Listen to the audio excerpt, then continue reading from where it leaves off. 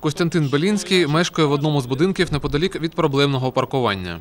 Власну автівку, каже, ставить тут вже понад 15 років. Чоловік розповідає, що про будівництво на території паркінгу дізнався випадково. Просто зайшов, поставив машину, побачив, що є ну, сліди від якби, якоїсь там бурової машини чи як там. Ну, в общем, дирку в землі побачив.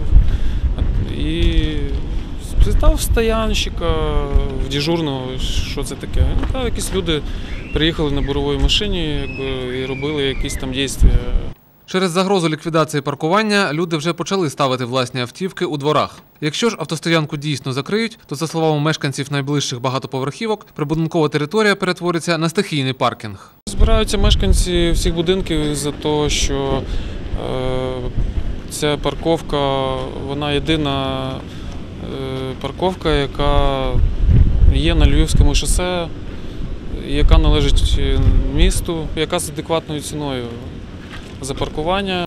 Комунальники розповідають, що відповідним рішенням міськради ця територія була надана комунальному підприємству Електротранс для будівництва багатоповерхівки. Чимало квартир у новій будівлі планують дати робітникам підприємства, які вже багато років стоять у черзі на житло. комунальному підприємстві Електротранс люди працюють по 25 і більше років. І на сьогоднішній день їм нічого не світить.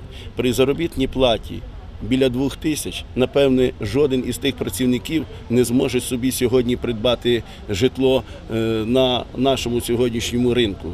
Тому, звернувшись до депутатів, з проханням, щоб виділили земельну ділянку для того, щоб можна було, по-перше, е, надати квартири нашим е, працівникам, втримати тих працівників на роботі. Наразі ініціативна група клієнтів паркінгу оформила звернення до Хмельницької міської ради стосовно оскарження рішення про надання території автостоянки для забудови.